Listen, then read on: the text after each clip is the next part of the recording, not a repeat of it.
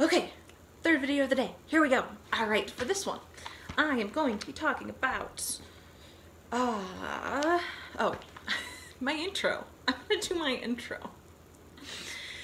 Hi folks, I'm Owl. This is Yarn Owl Reads, and today I'm going to be talking about some weirdly specific favorites from 2019. So I did a blog post last year at the end of 2018 or beginning of 2019 about some weirdly specific favorite things I had from 2018. And I'm doing that again here, talking about 2019. Uh, my new favorite genre was romance. Uh, if you read or if you listened, no, if you watched if you watched my reading survey video and my 2019 stats video, you'll know that I discovered romance in 2019. I don't think I'd ever really read a romance book before 2019, or one that I would classify as just like straight up romance. And then I read 50 something. 54? 54 and it was lovely. And that is just my new favorite genre. It is a go-to for i need to feel good. And there's a lot of times when i need to feel good. Um, so that was just a really lovely discovery. Definitely my new favorite genre. My favorite scientific writing uh, or science writing was to be taught if fortunate. I talk about that a lot in my survey video. Uh, and then just because it's the only not favorite thing I'm gonna have. My least favorite science writing of 2019 was uh, Kingdom of Needle and Bone by Mira Grant. Also talk about that a lot in my reading survey video. Uh, anyway, yeah, I just, uh, to be taught fortunate, got into the quandaries of science really, really well, and I really liked the way they were portrayed and discussed. And all of those things are things I didn't like about Kingdom of Needle and Bone. My favorite end of the year surprise. Uh, so, you know, towards the end of the year, you don't really expect to, or I at least, don't really expect to find new favorites. And in 2019, I did. I had uh, A Gentleman Never Keeps Score by Cat Sebastian. This is like, I think it's gonna become one of my favorite books of all time. It hasn't been long enough yet for me to be able to say that, but uh, I just, I love it a lot. It feels like it holds a similar place in my heart to um, A Duke by Default by Alyssa, Alyssa Cole. So uh, it's about, I, like on one hand can't really tell you what it's about because it's a sequel but on the other hand it's a romance sequel which just means we are following different members of a family all finding love uh, so, A Gentleman Never Keeps Score is about a man who is new in the wealthy sort of life, um, new as being a gentleman, and that's the life he's always wanted. Um, and it's just not feeling as great as he thought it was going to. And the other main character is a black tavern owner. All of this in London. All of this is historical, but I have no idea when. I'm not good at eras. Um, and he's just like he he likes his life, uh, and he's just trying to keep that going. And they meet, and it goes from there. I just, I really, I really liked it. I just did. My favorite readathon of the year was the Newts Readathon. Um, this is the second half of the magical readathon. First half is the OWLs. Technically, I guess these are the NEWTs, but I always call them the OWLs and the Newts. Um, it got so that was in I think August, and it helped one get me back into readathons, which was just very fun. Um, I participated in a bunch of readathons towards the end of the year. Yeah, the newts were in August. Um, and it was just, and the way it's set up is also just very fun with like you, your scores from the OWLs affect which categories you read in the newts and like you've got professions that you can strive towards and it was just it's all just really fun and really well put together and made me very happy. So, uh, so that was fun. And then for the rest of these, there are four more specific favorite, weirdly specific favorites that I came up with. Um, and because I read um, so much romance, but I also read other stuff that I really loved. But the romance is just meant to make me feel good and meant to make me happy. So of course those are going to be on my favorites. So for the next four prompts, uh, I'm going to choose an answer that is a romance book or romance series or whatever, and one outside of that. Because I read other things too. So uh, my favorite series that I completed in 2019 for my romance series, that was Ravenswood by uh, Talia Hibbert, and that starts with um, a girl like her followed by Untouchable. Um, Damaged Goods is a novella between those two. And then the third, like, proper book was That Kind of Guy. And I read all of these in 2019 and I just I love everything about that series. Um, I the second book Untouchable wasn't my favorite but it was still good. Uh, I think it was the only one that got less than five stars and the rest are just wonderful and fantastic. And if you're into romance that takes place in a small town in England, uh, and like features diverse characters and features mental health rep, uh, you should just you should definitely go for this series. And my non-romance answer for that was Stalking Jack the Ripper.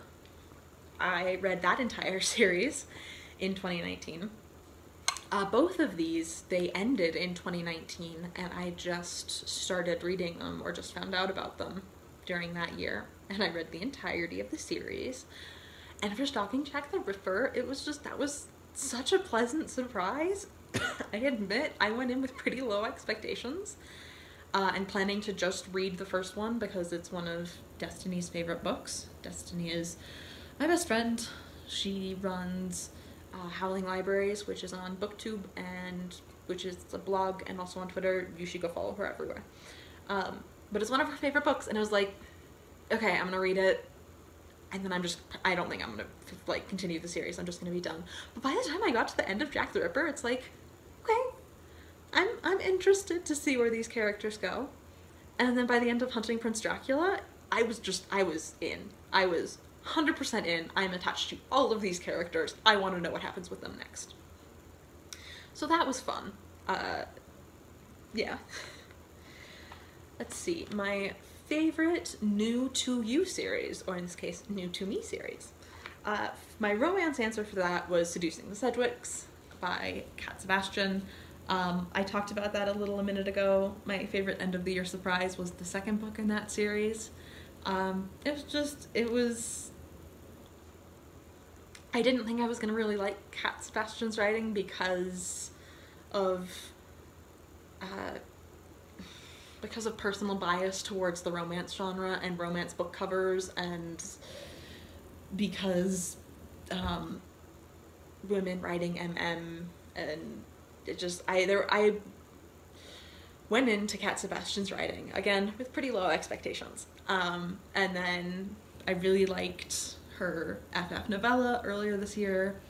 And so then I read the first book in that series and really liked it, but like didn't really feel like continuing the series. And then I discovered Seducing the Sedgwicks. And I am so impatient for the third book, which comes out I think in June or July. It comes out in 2020. And I just I love all of these characters. I love everything that like I just there's I have a lot of love for this series. The first one follows uh, he the the Sedgwick brother is a what are they called? He's a religious person, like a, a parisher. That does not sound right. A parishman? Is it just parish? I have no idea. But he's like a religious dude, a clergyman, if you will uh, and his love interest is a navy captain. And the clergyman is like, helping watch his children while he's away, and then he comes home, and it is like it has all of the Sound of Music vibes, uh, and it is so adorable. Definitely recommend it. Uh, and then the second one follows second Sedgwick brother, um, and he is a survivor of sexual abuse, and it's a lot of him working through that, and yeah, I sorry, I've already talked about uh, the second one a lot. Uh, the third one is going to follow um, the third brother, but also somebody who has been portrayed as a villain in or like an antagonist in the last two books. I'm really really excited for that because she started setting that up in the second book, and I like where this is going, and I'm excited to see where it goes from there. I'm just rambling, guys. Uh, my favorite conclusion to the series, to a series. Um, for romance books, my favorite conclusion to a series that I've read was King's Rising. Um, this is the third book in the Captive Prince trilogy. I have a lot of feelings about the Captive Prince trilogy. I have a lot of not good feelings about the first book because uh, there's a lot of stuff in that that is messed up and not okay. And like, and once you get to the end of the third book, to me at least, all of that stuff now makes sense. It doesn't make it okay though, and you have to go two books before starting to understand, and I don't know that that's worth it, and I'm not sure I would recommend this to people. That being said, I absolutely loved the second and third books in the series. I I loved where they went. I loved the discussions they had. I just it was I and it's not perfect, but it's good and made me happy. Um all all the content warnings, like I said, I don't necessarily think I recommend this series um because it is about a prince who is like thrown out of his kingdom and sent to live as a sex slave to a prince in like an enemy kingdom. And like that just starts bad and just keeps being bad. It's got so many problems. Um but I liked it. And I really really really liked well, so I liked the characterization, but I also liked like the plot and like and so as a romance, it was fine. As a political intrigue with rival kingdoms, it was phenomenal. I oh my gosh, that was just I, I loved the plot. I loved that plot so much. Um, and it was such a great callback to a lot of the fantasies and adventures and quest stories I read as a kid. But, you know, much more adult. so, uh, that was my favorite conclusion to a series in 2019 for romance. For not romance, I read Clockwork Princess in 2019. And that is the third book in the Infernal Devices. Yeah, by Cassandra Clare. And I started this book in high school, or I started the series in high school. And I read the first book, and then I read the first two books, and then a long period of time happened, and I tried again, and I read the first book, and then a long period of time happened, and Madeline from Novel Inc. She is also a good friend. I will link all of her stuff below. Uh, she finally convinced me to give the rest of the infernal devices a shot. And I was just really, really happy with that conclusion. Like, I, I agree that it is one of the best conclusions to a series I've read. It wrapped things up really well. And I just, it, it's made me want to continue. I really want to read The Dark Artifices. But to do that, I have to finish Mortal Instruments. And like I don't I don't like them.